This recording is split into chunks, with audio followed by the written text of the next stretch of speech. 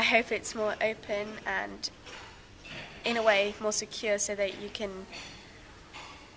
keep your files safe and everything on the internet